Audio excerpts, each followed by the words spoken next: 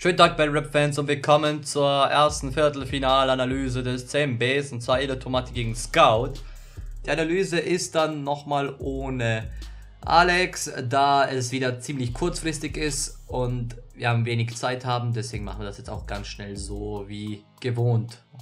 Und ja, dann beginnen wir mal ganz locker flockig mit der Bewertung und zwar Video, ja, das ist irgendwie komisch und zwar Scout hat irgendwie mit einem kleinen Missverständnis im Motto gehabt. Da hat zwar ein übelst geiles Video gehabt.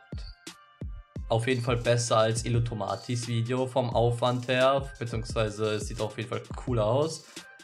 Dafür erstmal ein 2 zu 1 an Scout. Aber wie gesagt, äh, Illutomati das Motto eigentlich ziemlich gut umgesetzt hat. Und bei Scout leider nichts dabei war geben wir wiederum ein 3 zu 0 an Illutomati für Kreativität, damit wir das auch mal hinter uns gebracht haben. Was Flow betrifft, ist Elotomati eindeutig besser. Ich fand sogar die letzte Runde von Scout etwas besser, was Flow betraf. Da hat er irgendwie mehrere Flow-Fehler in der Runde und die sind auch das blöd hörbar. Elotomati ist auf jeden Fall ziemlich gut. Ich fand sogar die Runde vom Klang her, also besonders bei der Hook, auch nicht wirklich cool. Ich fand die Runde gegen Neon etwas besser, was den Flow betraf, beziehungsweise von der Musikalität, aber es ist jetzt extrem Geschmackssache. Aber dennoch bekommt jede Tomate 2-1 für Flow. Technik ist extrem und zwar eigentlich technisch das beste Battle. Wenn man so bedenkt, im ersten Blick haben beide ziemlich hohe Silbenzahl und ziemlich stark auch beide. Das Problem ist halt, dass Scout besonders im zweiten Part extrem zweckig ist. Dementsprechend folgen auch ein paar Logikfehler, die sich auch bei den Punchlines übertragen in einer Diskussion mit mir und Alex, wie wir das jetzt bewerten sollen, weil wir waren jetzt auch zwischen 2 zu 2 und 2 äh, zu 1 für Elotomati haben wir tendiert.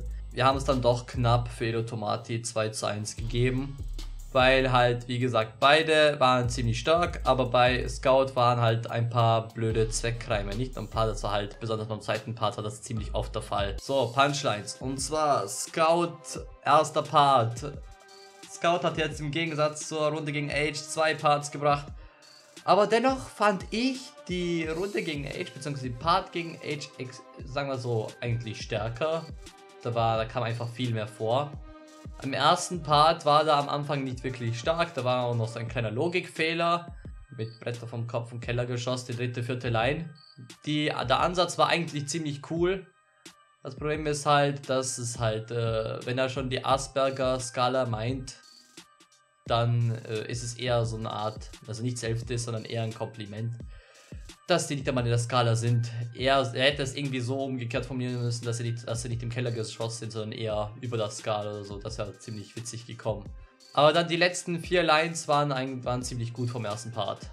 Ich schau mir eure Quali an mit verbundenem Kopf. Ihr habt ja echt schön gesungene Hooks. Mit der Runde verletze ich eure schwächeren Gefühle. Sogar Flair als Karotte ist ein viel härteres Gemüse. Wie ich das auch schon mehr oder weniger gespoilert habe, ist der zweite Part noch schwächer wegen den ganzen Technikblendereien, die er macht. Zum Beispiel lang, die Line mit, äh, er geht Langhantelstämmen und ich habe was anderes gesehen, Pfandflaschenbattle, das war ein bisschen random. Ja, ist einfach so Technikblenderei und das Problem ist halt, dass Inutomati technisch gut ist, ziemlich gut sogar, vielleicht sogar einer der besten im Turnier. Und dann hätte er sich eher mehr auf die Punchlines konzentrieren sollen.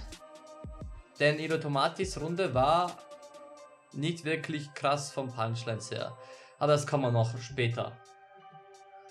Dementsprechend waren in der zweiten Part eigentlich fast keine gute Line dabei, außer diese. Eine Line und sie wird euch derbe zerreißen. Da kann man euch zumindest mit Ketchup vergleichen. Gesamt betrachtet war die Runde von Scout Punchline technisch nicht wirklich stark.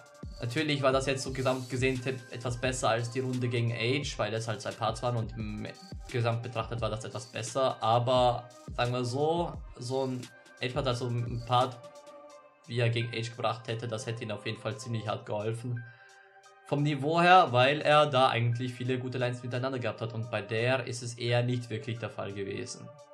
Elotomatis Runde er hat sich gut auf das Videokonzept aufgebaut und die Runde puncht auch an sich gesehen als Gesamtes ziemlich cool. Aber dennoch waren da ein paar, ein paar starke individuelle Lines, unter anderem von Jasons Part gibt es da sechs gute Lines da, also individuell gesehen. Checken Sie, dass Reden über Geld nichts bringt, weil das auch nicht kompensiert, dass Sie hässlich sind. Keine Zeit für Age müssen Sie gerade sagen, man hatte keine Zeit für Ihren richtigen Namen. Ihr Körperbau so straight out of Auschwitz und Sie kommen im End zum Date mit so einem autistischen Outfit. Nebenbei, ich fand den fließenden Übergang von Jason zu Tin, also wie sie das Konzept dargestellt haben, ziemlich geil. Und dann war der Part von Tin auch ziemlich gut. War auch sechs gute Lines dabei, besonders am Ende. Mit Mantel, Hut und Brille sehen sie aus wie ein Spaß, doch mit den schwulen Handschuhen haben sie es nur noch schlimmer gemacht. Ist das ihr königliches Antlitz, bin ich Weltenimperator? Warum pickt man Beats, auf die man selber nicht mal klarkommt? Sie denken, mit den Scheinen wären sie Gangsterboss wie Narcos, dabei dienen die Euros nur als Wackness-Kompensator. Dennoch fanden wir, dass die Runde gegen Neon minimalst besser war, aber gesamt gesehen wahrscheinlich sogar etwas besser, dadurch, dass sie das Auto eigentlich ziemlich geil erfüllt haben. Und sonst haben die eigentlich überall stagniert. Dementsprechend geben wir da ein 2 zu 1 an Ilotomati. Punkto Punchlines, ja. So, dann Uservote geht sowas von klar an Ilotomati. Wundert mich aber, dass Ilotomati irgendwie extrem viele Likes hat. Also irgendwie 24 Likes oder so. Falls ich mich erinnern kann. Bin mir nicht sicher. Und Scout auf, auf einmal 20 Dislikes. Ja, kommt. Also, äh, ja. Wie gesagt, ich bin, äh, ich finde es immer blöd, wenn Leute so hart gedisliked werden. Ich meine, die haben sich auch Mühe gegeben und so schlecht war die Runde nicht. Es gab auf jeden Fall viel schlechtere und wie gesagt, das hat auf jeden Fall sein gutes Viertelfinalniveau und der ist auch berechtigt im Viertelfinale dabei. Aber jetzt ist halt Scout da raus. Ja, damit steht Ilotomati im Halbfinale. Achso, den extra Punkt kriegen die auch noch selbstverständlich und dementsprechend steht es dann 12 zu 5 für Ilotomati. Und ja, das war's dann eigentlich mit der Analyse.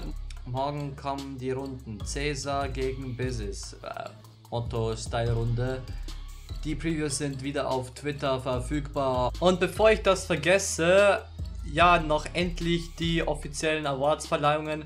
Und zwar, wir haben zwölf Stimmen gehabt, beziehungsweise haben zwölf Leute abgestimmt. Manche Stimmen sind, sagen wir so, teilweise voll, beziehungsweise manche haben für eine andere Kategorie falsch abgestimmt und dessen Stimmen haben wir jetzt nicht komplett gezählt. Deswegen gibt es jetzt zum Beispiel in einer Kategorie mehr Stimmen als bei den anderen. Aber wir werden jetzt einfach nur die Reihenfolge äh, sagen und ohne die Stimmenanzahl, weil man das auch selber ganz leicht nachprüfen kann. So, Video gab es eigentlich zwei Gewinner und zwar auf dem zweiten Platz äh, hat sich da Mio mit seinem ziemlich äh, entertainment-lastigen Video gefunden, auch ziemlich simpel, aber ich denke, der haben der für Mio gewotet wegen dem ersten Part. Aber erster Platz geht eindeutig an Ilo Tomati für Achtelfinal-Video, außer ziemlich geil war. Ich denke, dafür, dafür hätte ich auch gewotet. Ja, Hook gab es mehrere Drittplatzierte, unter anderem Mio Feature für MC Zuckerblatt, Neon und Inutomati. Der zweite Platz geht an Mula und der erste Platz geht an Neon für sein Feature bei MC Zuckerblatt. Motto gab es auch mehr oder weniger nur zwei Gewinner und zwar zweiten Platz belegt Mio und erster Platz belegt Baba Kürbis, was auch ziemlich geil gemacht wurde. Aber ich meine, es, es kamen eigentlich nur die zwei Leute in Frage, also ich meine, für mich gäbe es auch keinen richtig Drittplatzierten. Natürlich gab es so Leute wie Neon oder Cäsar, die halt wahrscheinlich den dritten Platz verdient hätten, die auch ziemlich stark waren im Punktomotto, aber es hat halt keiner für die gestimmt. So, die beste Line. Und zwar gab es quasi zwei Erstplatzierte und einen Drittplatzierten. Den Drittplatzierten belegt Mio. Und die zwei Erstplatzierten sind unter anderem Black Devil und Green Tornado. Und Ilo Tomati. Aber laut der Community ist dann die drittbeste Runde kommt von Caesar, die zweitbeste Runde von Ilo Tomati und die beste Runde des Achtels kommt von Mio. Herzlichen Glückwunsch an alle Award-Gewinner. Es gibt das noch eine Award-Verteilung im Viertelfinale, dann nochmal eine Award-Verteilung für die ganzen Bonus-Battles und dann die letzte Award-Verteilung ist fürs Halbfinale und fürs Finale. Wahrscheinlich machen wir dann nochmal ein Award-Video für alles zusammen halt. Naja, egal. Das passt dann. Das war's mit dem Video. Haut rein. Auf Wiedersehen und tschüss.